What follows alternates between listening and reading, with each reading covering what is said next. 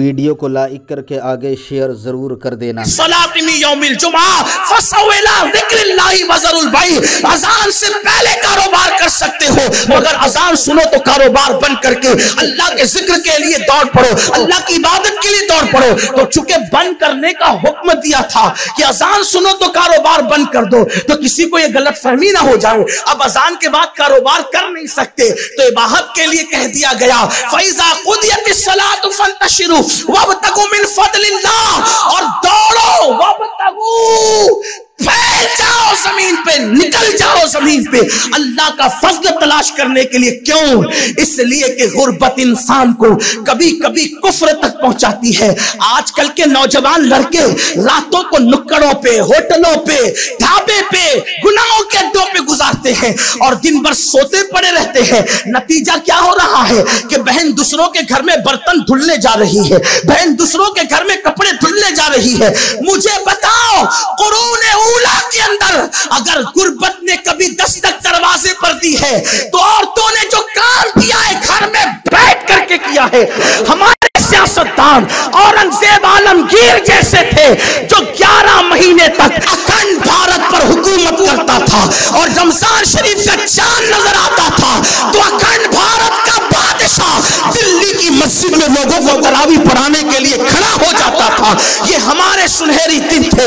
ये हमारी तारीख थी। मुसलमानों को हो क्या गया है? रातों से रातें जाय कर रहे हो, दिन जाय कर रहे हो, वक्त जाय कर लोग कहते मौलाना, पढ़ने के लिए वक्त नहीं मिलता। मैं आपसे एक बात कहता हूँ। अगर एक घंटा आप किसी किताब का मुताले के लिए निकाले, एक घंटा से एक घंटा कह रहा हूँ इसलिए एक घंटा। एक घंटा किसी किताब के मुताले के लिए निकाले, दस सफात रोज़ाना पढ़े, दस सफात। एक साल में कितना पढ़ लोगे पता है? साढ़े सात हज़ार सफात पढ़ सकते हो एक साल में। रोज़ाना एक घंटा एक किताब पढ़े हो, दस सफात। साल गुजरेगा तो कितनी किताब कितने सफात का इल्म आपके सीने में हो जाएगा?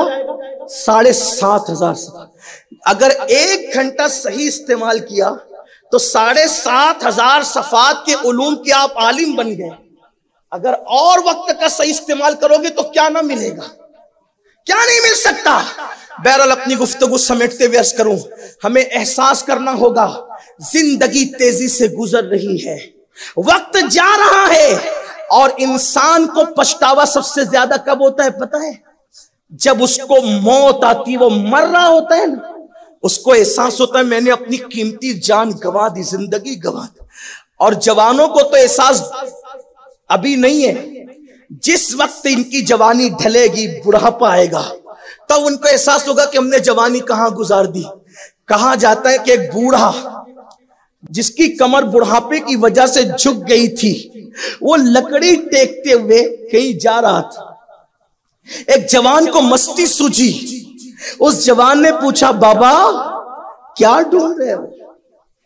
हालाँकि उसको पता था कि कुछ ढूंढ नहीं रहे, इनकी कमर बुढ़ापे की वजह से झुक गई।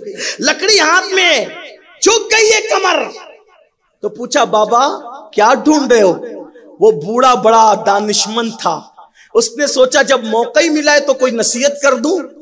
इसलिए कि वो तो चिढ़ा रहा था। लेकिन याद रखना, जर्फ जर्फ की बात है।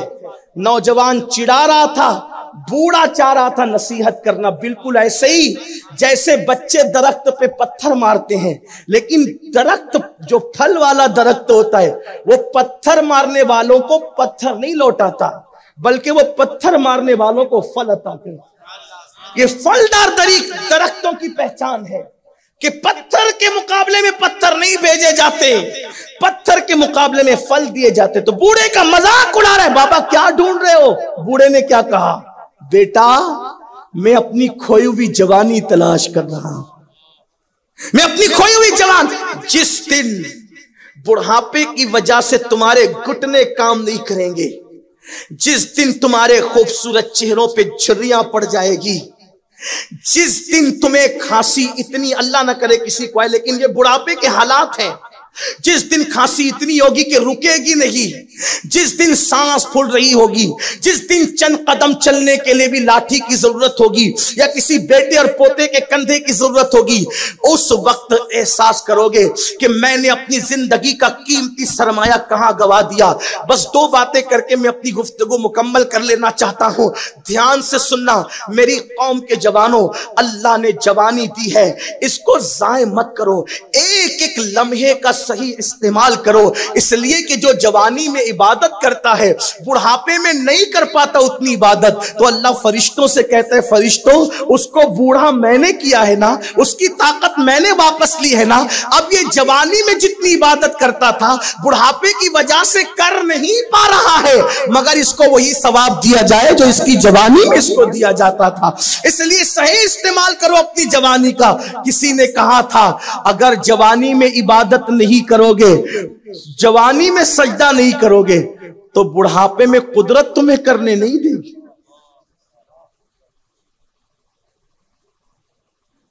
आपको एक बात अर्ज़ करूँ? मैं तो जो दो बातें एक रुकी हुई थी, वो और एक आखिरी बात कहने जाता, लेकिन बात अर्ज़ करूँ, आप अल्लाह के लिए क्या देना चाहते हैं? अल्लाह बड़ा गैरत वाला है, गिरी पड़ी चीज़ें वो नहीं कबूल करता, ऐबदार चीज़ें वो कबूल नहीं करता। एक आसान मिसाल। जब आप कुर्बानी के लिए जानवर लाते हैं तो इस्लाम क्या कहता है? जवान हो, बूढ़ा नहीं चलेगा। बैल कुर्बानी के लिए आया। कुर्बानी के लिए अल्लाह अल्लाह के लिए आया। बैल आया किसके लिए? बछड़ा आया किसके लिए? जानवर आया किसके लिए? अल्लाह के लिए। इस्लाम क्या कह रहे बूढ़ा नहीं चलेगा। कौन सा चाहिए?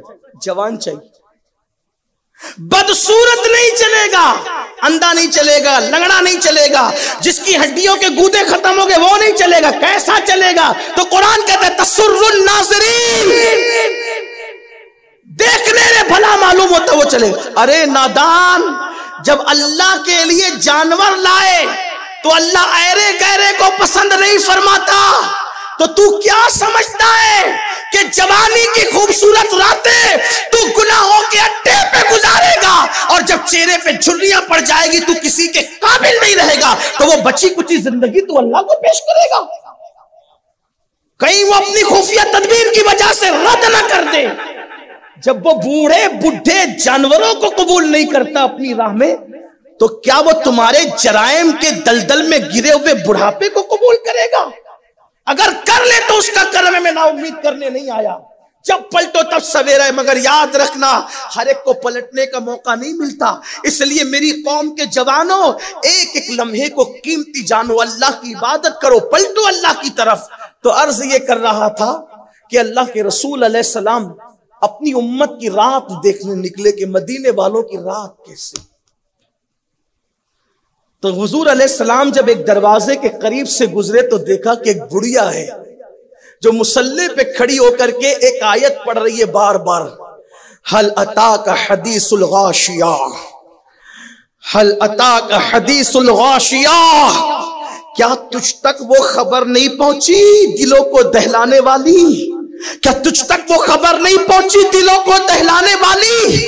जब कयामत की उस घड़ी का ज़िक्र मुस्तफ़ा जान रहमत ने बजबान कुरान एक बूढ़ी औरत की जबान से सुना तो हुजूर पर एक कैफियत तारी हो गई और हुजूर कहते, ना मतानी ना मतानी हाँ हम तक वो खबर पहुँच गई है। मुझे बताओ, जब बूढ़ों की रातों का ये आलम है तो जवानों की रातों का आलम क्या होगा? इसलिए अपनी रातों की कद्र करो। अपनी रातों का सही इस्तेमाल करो और याद रखो, आज अमल कर रहे हो। अमल की अहमियत नहीं पता। जिस दिन मर जाओगे, अमल की अहमियत पता चलेगी, तब अमल कर नहीं सकते। दो रेकत नमाज़ को समझा क्या है? मैंने शुरू में कहा ना, मैंने शुरू में कहा ना कि नबियों से बगावत करके निस्बतें टूट जाती है। ये वो जुर्म है, नबी से बगावत का जुर्म, उनकी तालीमात से बगावत का जुर्म। निस्बतें तोड़ देता है।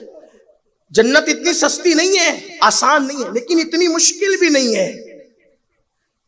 अगर कोई अल्लाह रसूल का वफादार हो जाए तो उसके लिए एक सजदा ही जन्नत में जाने के लिए काफ़ी एक सजदा। इस सिलसिले में एक बात याद आती उसी पे बात मुकम्मल करता हूँ। ध्यान से सुनना। हज़रत सैयदना मालिक बिन दिनार एक रास्ते से तशरीफ़ ले जा रहे रास्ते से जाते हुए आपने देखा कि बादशाह की एक कनीज है और बहुत खूबसूरत है, बहुत हसीन और जमील है। और वो गुसल करने के लिए गई थी किसी नहर पर और उसको घेर रखा है कनीजों ने। इतनी कीमती थी वो कनीज की उसकी खिदमत पर कनीजे मामूर थी, शाही कनीज थी। तो चूँकि अल्लाह वाले जो होते हैं ना, वो इंसान को उसकी हैसियत दिखाना चाहते हैं। ताकि इंसान घमंड से निकले। मैं भी लोगों को कहता हूँ, किसी को दौलत का घमंड, किसी को जवानी का घमंड, किसी को इकतदार का घमंड तकबर इंसान तो किस पे घमंड करता है? दौलत पे? फिरौन का अंजाम देख, शद्दाद का अंजाम देख। अपने अच्छे मकानात में तो घमंड कर रहा है। देख ले नमरूद का अंजाम। कहा हो? तकबर जेब नहीं देता। अल्लाह ताला फरमाता, इंसान तू अपनी पैदाइश पे गौर कर। बनाया दस्ते कुदरत से, लेकिन कैसे बनाया तो कुरान कहता है, मिम्मा इंदाफिक उछलते हुए पानी से, जिसको दूसरे मकाम पे कुरान कहता है, मिन नुतफा। और उसके नापाक होने में क्या कलाम है किसी को? उसके नापाक होने में क्या कलाम है? ऐसा नापाक कि अपने मकाम से हट जाए तो गुस्ल फ़र्ज़ कर ठीक? कभी उसको देखना तो सही, उस एक कतरे को आज साइंस के ज़रिए से, साइंस तरक्की कर चुकी है तो अदसों से देखना आसान हो गया। कभी उसको देखो, उसके अंदर करोड़ों कीड़े हैं। और इतने बदसूरत है कि देखने पे डर लगता है। उन्हीं कई कीड़ों में से एक कीड़ा अपने मकाम पर पहुँचता है और उसी से इंसान बनता है।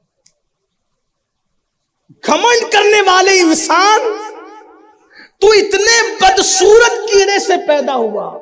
एक कतरे में लाखों करोड़ों थे और उसमें से उससे तू पैदा हुआ। वो अपनी मंजिल पर पहुँच गया तू। किस पे घमंड कर रहा है? अब तेरी खूबी क्या है? अगर तू अल्लाह को राज़ी कर ले तो तू फरिश्तों से बेहतर हो गया।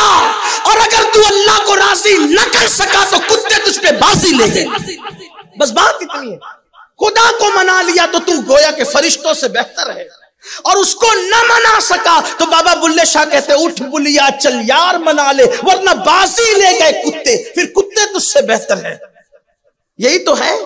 किस पे घमंड कर रहे हो? जिसको मनाने के लिए आए थे, उसको नहीं मनाते। जिसको राज़ी करने के लिए आए थे, उसको नहीं राज़ी करते। जिसकी खुशी के लिए ज़िंदगी गुजारने आए थे, उसको खुश करने की कोशिश नहीं करते। सबके पीछे लगे और रब की खुशी की कोशिश नहीं करते।